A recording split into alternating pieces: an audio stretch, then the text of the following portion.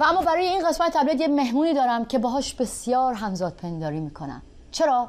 چون هم زنم هم فوش جنسی زیاد خوردم از همه گروه ها و جریان ها شهناز تهرانی زن نازنینی که هیچکس بدی ازش ندیده ولی زخمی که لیلی گلستان به او زده و البته بعدش تکذیب کرده ماجرایی که باید باز بشه و باید در موردش گفتگو بشه. مهمون ویژه این هفته تبلت شهناز تهرانی عزیز. سلام به روی ماهتون. خیلی خوش اومدید به برنامه تبلت. ممنونم از دعوتتون. بانوی عزیز نازنین دوست داشتنی تبلت و مردم ملت خوب و غیور ایران که عاشقان شما رو دوست دارم. عزیز نه عزیز دلم اینجوری هم نیست. منم فوشخورم ملسه اتفاقا برای همین دعوتتون کردم توی این برنامه. برای اینکه ببینم واقعا ماجرای این حمله های جنسی رکیک زشت چیه؟ چرا به ما زنا؟ به محض اینکه خوششون نمیاد سریع انگ جنسی می‌زنن. ماجرای حمله لیلی به گلستان به شما چیه؟ دلم شکست. اشکم سرازیر شد. نه تنها دلم شکست. یه موقعی یه چینی بنزنی بود. داد می‌زد می‌گفت چینی بنزن اومده. برای دل شکسته اومده. ما تو غربت چینی بنزن نداریم. پس انتظارم نداریم که از کسی که از یه خانواده فرهنگی اومده بیرون و مستقیما و شناختش خیلی خیلی دقیقی هم از من داره. مسی جان به خاطر اینکه پدر ایشون آقای ابراهیم گلستانه و من در سیزده سالگی برای ایشون فیلم اسرار گنج جنی رو بازی کردم. و میگم که میگم که من حقم نبود که نه حقتون نبود. نبود. زندگی آزادی هست به من توهین بشه. حقتون نبود. و صادقانش بخوام بگم از اینکه یک زن قلبم درد می‌گیره. به یک زن دیگه بتونه بگه فاحشه. ولی بعد بیاد بگه که من اینستاگرامم دست خودم نبود. دست یکی دیگه بود. در حالی که می‌تونست باز هم بیاد و مشخصا خطاب به شما در واقع یک حرفایی بزنه که اونها رو از دل شما در بیاره. باز هم گفت چرا به من بدی کردیم چرا به من؟ من می‌خوام ازتون صادقانه بپرسم که این تفکر که با توهین جنسی بخوان یک زن رو سرکوب بکنن واقعا از کجا میاد؟ چون ببینید به شما فوش میدن از اون بر به گوگوش فوش میدن از اون بر یعنی چی باعث میشه که یک زن رو به جای اینکه تفکرش رو نقد بکنن حتی زن هم میاد بدنش رو مورد حمله قرار میده جنسیتش رو مورد حمله قرار میده. چرا؟ چرا که دلیلش اینه که به هر حال یک نوع افکار مسموم در اجتماع همیشه سطح راه انسانهایی که واقع بین هستن رو متاسفانه می‌گیره. و تا اونجایی که بتونن می‌خوان ضربه بزنن.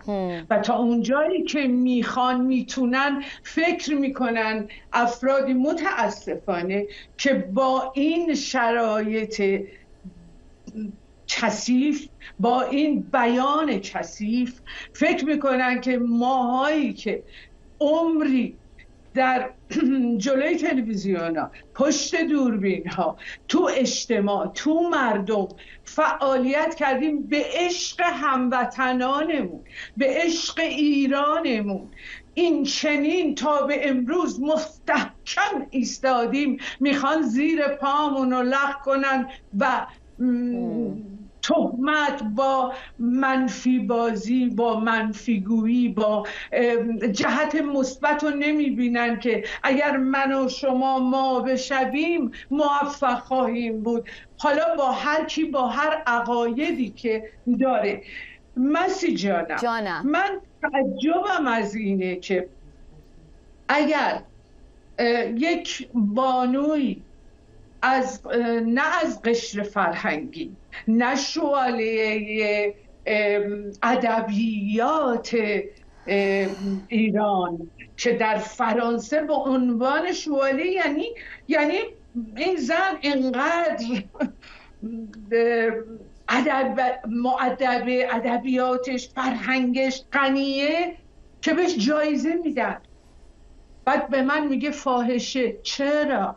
چرا؟ به نظر من باید اون جایزه رو از ایشون بگیرن بدن به بچه های خیابانی که خونشون رو میدن برای ایران و ایران بسیاری از روشنفکران ما این ادبیات رو دارن و حمله می‌کنن به جنسیت زن مثلا خود خانم مرزی برومند زمانی که کمپین چهارشنبه سفید رو انداختم به من گفت اون زنیکه زشت موزوزی و واقعیت اینه که منم مثل شما دلم شکست ولی نمی‌دونم جریان چیه که این تفکر متحجری که آخوندها در جامعه خواستن رواج بدن توی برخی از روشنفکرهای ایرانی هنوز خریدار داره سوالم اینه که آیا وقتی از روشنفکرها میاد بیشتر دلتون رو نمیشکونه؟ بیشتر غمگینتون نمی‌کنه؟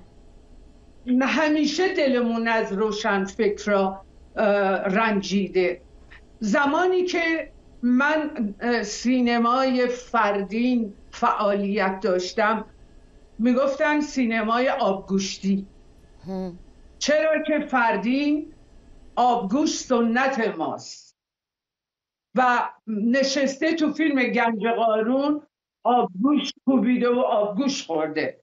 تو خونه هر ایرانی در امروز من نمی‌دونم ولی در گذشته هفته یه بار دو هفته یه بار آبگوشت رو میخوردن. چون این سنت ماست. اسم سینما رو گذاشتن آبگوشتی ولی امروزه داریم می‌بینیم که نه مثل فردین آمد و نه مثل فیلم های فردین ساخته شد. ما افتخار می‌کنیم که کوچه بازاری هستیم. ما افتخار می‌کنیم که قدرت داریم پشت همیم و افتخار می‌کنیم که با احترام صحبت می‌کنیم. و روشن فکر نیستیم که به کسی علنا بگیم تو فاحشه تو موزوزی هستی. نه. این در ادبیات بچه های با مرام نمی گنجه عزیزم. معذرت می‌خوام. اتفاقا شهناز جان شما یک عمر تابو شکنی کردین و الان می‌بینید و الان می‌بینید که سینما تمام سینماگران زن رسیدن به اینجا که اون چارقد اجباری رو از سر بردارن. اون هجاب اجباری رو از سر بردارن و تابو شکنی بکنن. تلاش های زنان امروز سینمای ایران رو که الان مقابل حکومت ایستادن چجوری می‌بینید؟ چه حسی بهتون دست میده وقتی می‌بینید یکی مثل کتایون رویهایی یکی مثل ترانه علی دوستی؟ الان اومدن میگن ما دیگه نمی‌خوایم جزوی از دستگاه پروپاگاندای این حکومت باشیم و این حجاب رو سرمون نمی‌کنیم و به رسمیت نمی‌شناسیم. یک حکومت آپارتایتی جنسیتی رو. چه حسی بهتون دست میده این روزا؟ دقیقا حس این که اولین باری که به تئاتر لالزار رفتم. و اولین زنی بودم که روی صحنه تئاترهای لالزار ارزندام کردم. شاید اون موقع زیاد به چشم نمی اومد. دوست داشتنی نبود اون زمان ها که یه دختر ایرانی بره روی صحنه چادر بنده سرش کمرش بشه قمر خانم فریاد بکشه و از حقش دفاع کنه. امروز من بچه هایی که از حقشون هنرمندان جوانان پیرزنها پیرمردها تمام کلیه انسانهای واقعبین امروز فریاد می‌کشن. چادر رو بر میدارن از رو سرشون.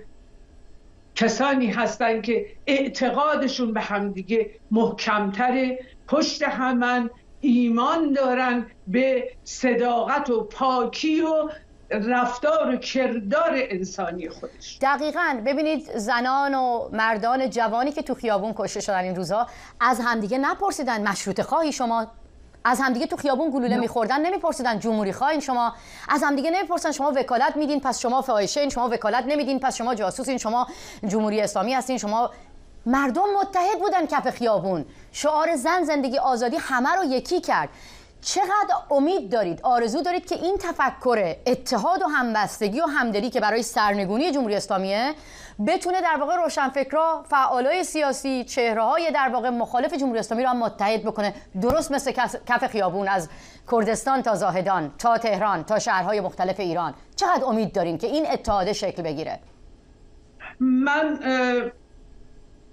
چشم انتظارم که به وطنم برگردم. انقدر امید دارم که خاک زمین ایرانم رو ببوسم. منم. آرزوی همه ماست امیدوارم که تو خود ایران آزاد بغلتون بکنم دعوتتون بکنم تو روستای خودم قومی کلا و با هم برخصیم خیلی دوستتون دارم. من می‌خوام بیام شهر تو. می‌خوام بیام اونجایی که همشون دلشون و زبونشون یکیه. می‌خوام بیام اونجا که طبیعت فقط حرف می‌زنه نه دروغ.